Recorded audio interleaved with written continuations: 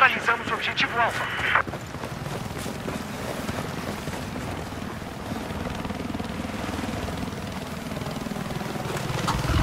Objetivo Alfa foi tomado.